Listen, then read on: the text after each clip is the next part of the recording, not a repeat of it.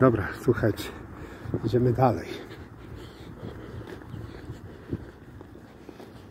Macie rokowskaz. Co, gdzie, kiedy. Proszę bardzo. Żebyście wiedzieli, gdzie jest Dom Kultury, gdzie jest plaża. Żeście się nie pogubili w ustę. Kasa biletowa PPKS Słupsk. Dobrze, idziemy dalej. Ale zwrócimy się na tym puszczalnię nawet rowerów macie, zobaczcie. Puszczalnia rowerów. Mamy ładny budyneczek. To jest nisko formacja turystyczna. Proszę bardzo. Słuchajcie, z nisko położonymi tymi oknami. Patrzcie. Pomalowany. Ładnie jest to zrobione, odrestaurowane.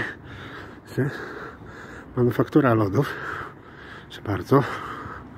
Odrestaurowane to jest, słuchajcie. Zobaczcie jak wygląda chodnik. Chodnik i budynki obok.